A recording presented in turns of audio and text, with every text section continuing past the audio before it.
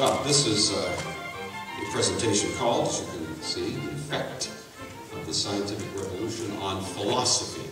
Most of what you have been considering up to this point have been causes of and descriptions of the scientific revolution. My presentation, I think Mr. Palkins as well, if I'm not mistaken, is looking more at what happened as a result, were the effects of the scientific revolution, and so I'm looking more or less after the fact.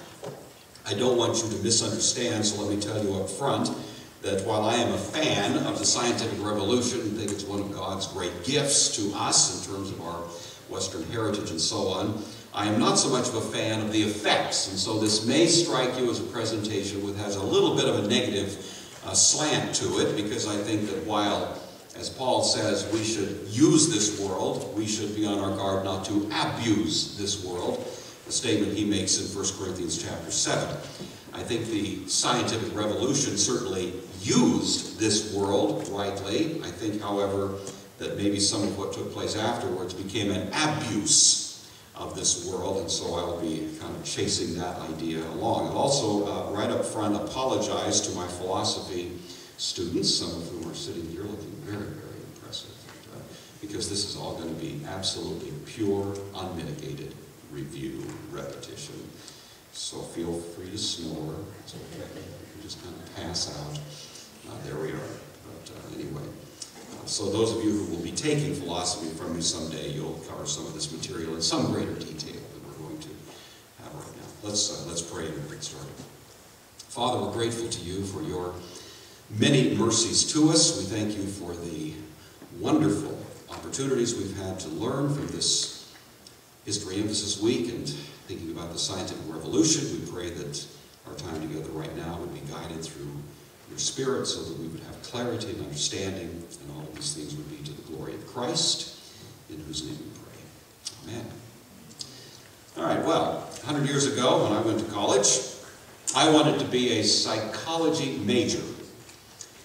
And the reason for that was because I was interested in human beings. Even in high school, I'd sort of thought about why do people do things? How come people are more, some people are more emotional than others? And how come some people seem to have more problems? And I, I actually had designs at the time of possibly becoming a counselor or a psychologist. And so I thought, well, what better way to get myself down the road toward that objective than to major in psychology? And so off I went and after bouncing around a couple of other majors, wound out as a declared psych major. I was somewhat disappointed when early on in my studies of psychology I found out that the prevailing paradigm for psychological theory at the time was more or less the result of the architecture of a guy by the name of B.F. Skinner, who is pictured here. Skinner was a professor of psychology at Harvard University. He was very highly respected at the time. He's not so much in vogue these days, but nevertheless at the time he was kind of a popular guy. And most of my psychological studies in college were oriented to a so-called Skinnerian approach. Skinner himself was connected to something called radical behaviorism. The heart of his paradigm for psychological understanding came to be called the Skinner box, which I have now set before you. The Skinner box has a particular set of little apparatuses that are connected to it, and I'll just kind of mention these here briefly. You can see it there. There's a speaker, which gives certain sounds to this mouse. There are signal lights, red and blue. There's a little lever that the mouse would push, and upon pushing it, a food dispenser would send a little pellet of food down a tube into the box to reward whatever the behavior was of the mouse that the, the uh, experimenter was trying to reward. But you'll also notice more sinister aspects to this because there is an electric grid you see at the bottom. And then off on the uh, side is what's called a shock generator. I've actually been pr proposing that here at the Oaks we might want to start implementing some of these uh, as a new discipline area, kind of a shock generator beneath each chair in the room, you know. And so when a child begins to disobey a little bit, kind of acting up over here, I just beep, and, you know, and you get a little, um, you know, 100 volts or so, bang like that. You get great behavior, right? I, I'm, I'm rethinking my criticism of Skinner. But anyway, Skinner uh, was developing a hypothesis that a rat could be trained to a very sophisticated level of behavior. I mean, he could train these rats to roll over three times, count to ten, do calculus, and so on, all of which was to get a food pellet. It was really quite an astonishing thing. Little flashing lights in a certain sequence and so on. The, the, the, the rats could learn all of this and became quite impressive in their ability to evaluate their, their uh, environment and do certain things as a result of it. And Skinner's belief was all of that was the product of what he called conditioning.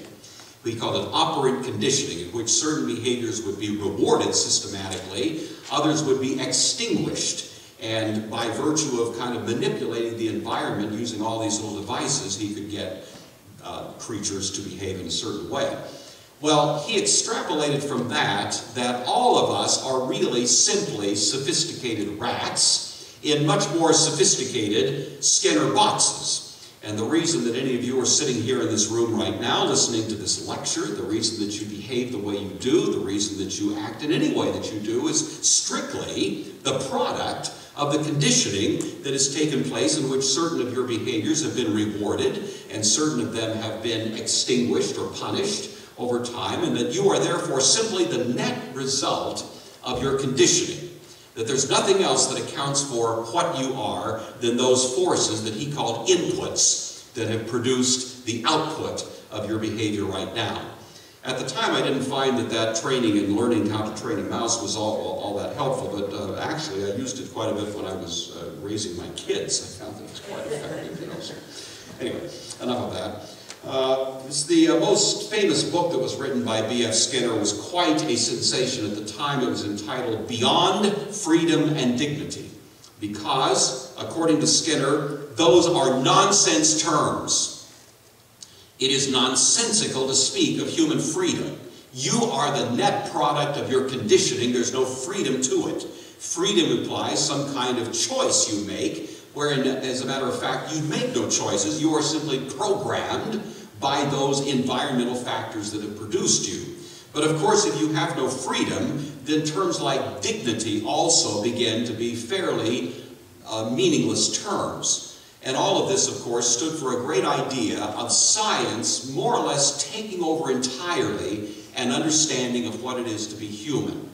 This is what I say, uh, what I mean when I say uh, use this world but don't abuse it. In my view, this is an abuse of science, making it explain more than it's capable or competent to explain, and by so doing, ridding you of any idea of value, any idea of right and wrong, ethical truth, transcendent uh, value of any kind, and reducing you really just simply to a rat, you see.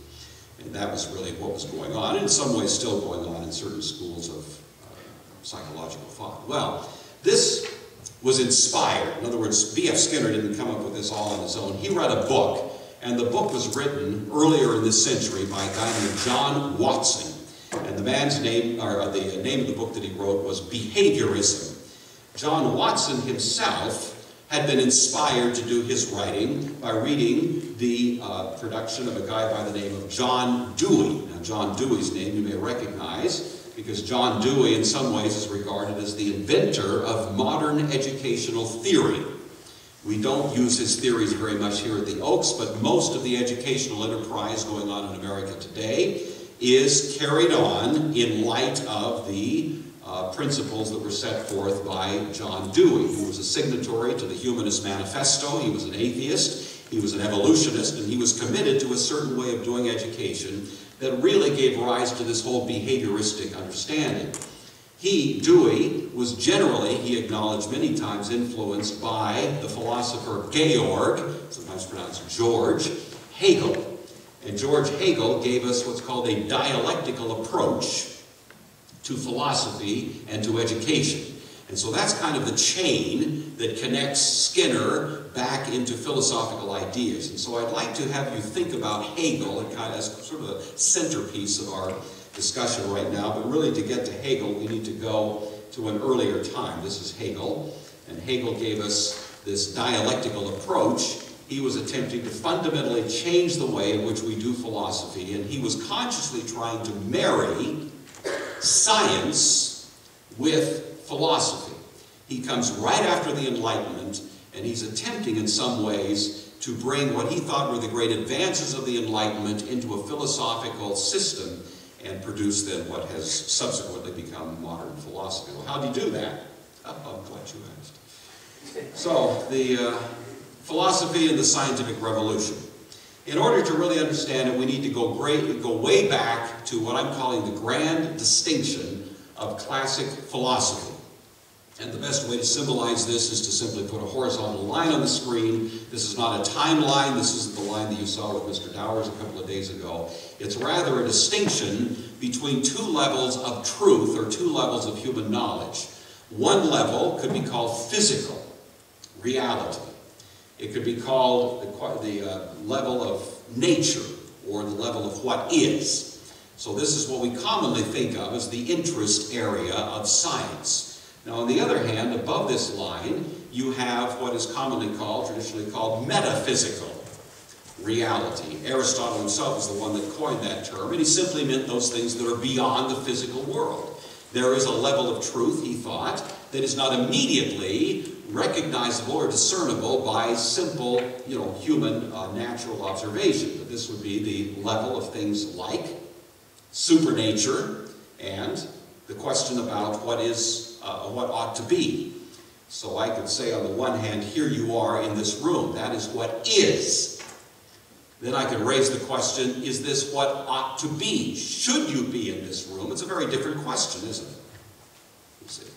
It's one thing to note you are here. It's another thing to pass judgment on the significance of you being here in terms of the category of ought. Ought you be here, you see. One appeals to this level of physical observation. The other appeals to a higher level that kind of stands in judgment, in some sense, over the physical. To use terms that you may be familiar with as well, you'd have terms like, this is the good, the true and the beautiful. These would all be ideas that are above the line, that are not necessarily things that you would simply derive from an observation of reality itself or the natural order. All right, so this great debate of classic philosophy is symbolized by two characters. All right, this is the first answer. This is uh, the upward path that would be found in Plato. This is from Raphael's famous painting of the Academy, and of course his little cameo of, of Plato here shows the one finger pointing up, right? And that finger pointing up is supposed to stand for Plato's notion that the way that we discover this world of metaphysical truth is what could be called the upward path, or the world of pure reason, simply exercising the mind and so on. And then we have answer number two, there we are. And this is uh, Aristotle. So Aristotle, you notice the difference between these two guys. You have Plato, who has his finger pointing up, standing for a notion that the way we discover this level above the line, the way we discover it, is by a sort of rational or intuitive inward path. The way Aristotle thought we discovered it was more an empirical or natural or scientific path, and thus he has four fingers pointing out, meaning pointing out to the world as a place that we should explore. Both of them said that we can, by this means, discover uh, the metaphysical level. They both believed in it. They just had differences of opinion as to how we were best to go about exploring it. All right, so these are the great debaters of uh, classic philosophy. This is Plato and Aristotle. This is a little kind of uh, vignette, as you know, from Raphael's Academy. so Plato's rationalism stands for pursuit of truth follows this path of pure reason and intuition. Aristotle's path, there we are, follows a path of science and observation. So you've got that before you. And taken together, these two represent sort of this great, uh, in some ways, the very kind of uh, framework for philosophical thought from that point on.